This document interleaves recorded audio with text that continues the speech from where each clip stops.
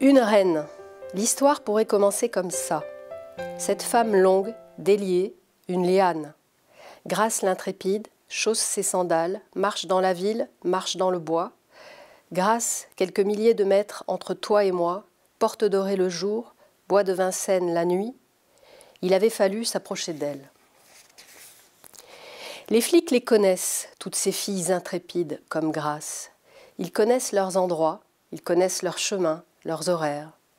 Les hommes les connaissent, ils savent les lieux les plus tranquilles, là où elles sont nombreuses, abritées dans des camionnettes, alignées les unes derrière les autres, dans une rue sans éclairage du bois de Vincennes. Cette rue que les flics appellent la Dark Road. Chaque jour, les filles rejoignent la file des camions, régulièrement déplacés pour ne pas être enlevés par la fourrière, régulièrement garés dans la même rue en prenant soin de laisser un espace libre entre chaque véhicule, la place pour une ou deux voitures qui pourront stationner le temps d'une passe ou d'une nuit.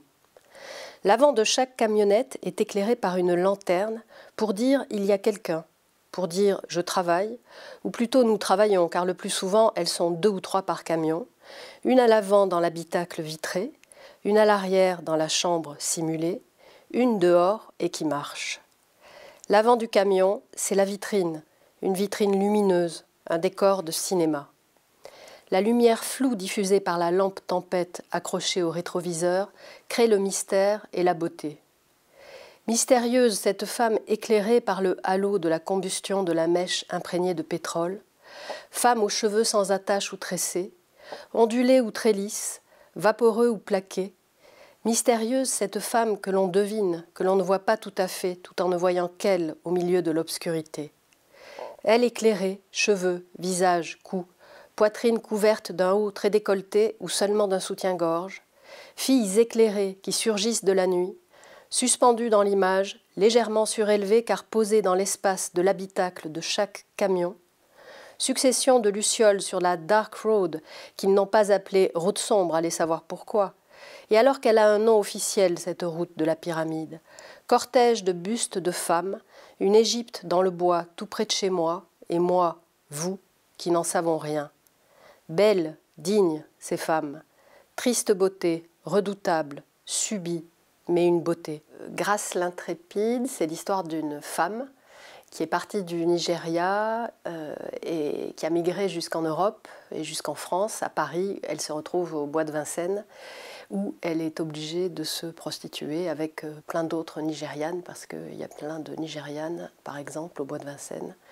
Voilà, c'est l'histoire de. Donc c'est à la fois un portrait de femme qui a eu une existence euh, éprouvante, euh, mais comme son titre peut l'indiquer, il ne s'agit pas de le raconter de façon euh, victimaire, de façon condescendante, mais plutôt presque comme une héroïne, parce qu'il se trouve que j'ai approché des femmes comme elle, à la fois par la documentation et en vrai, et il se trouve que très souvent, euh, euh, elles, ont une joie, une forme de joie en elles et de, dignité qui m'a inspirée pour essayer de, raconter cette histoire sans euh, chercher à faire pleurer dans les chaumières. En fait, c'est à la fois un portrait, un récit, une histoire qui se raconte, mais qui est racontée beaucoup par les personnages eux-mêmes. C'est-à-dire que Grâce parle beaucoup, elle a une façon de parler euh, assez euh, particulière.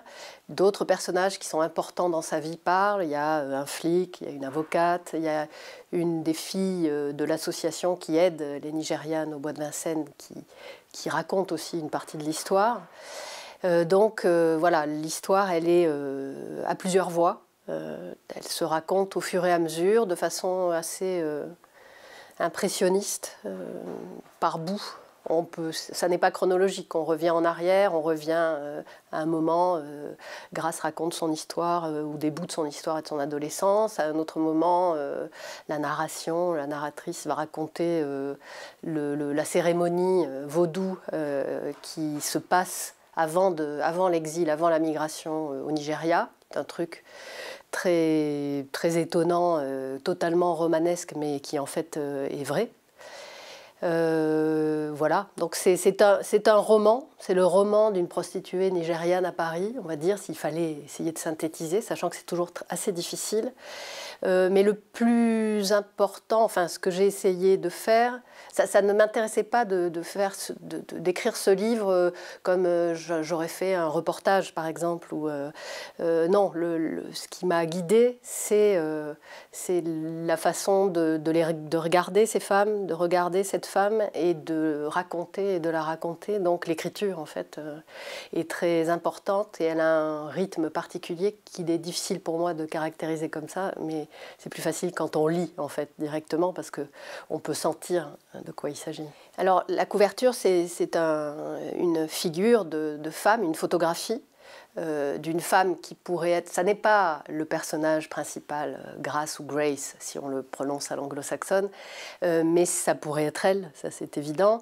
elle a un air un peu mystérieux, on ne sait pas très bien si elle est en train de réfléchir, si elle est triste ou simplement si elle est à l'intérieur d'elle-même et qu'elle pense.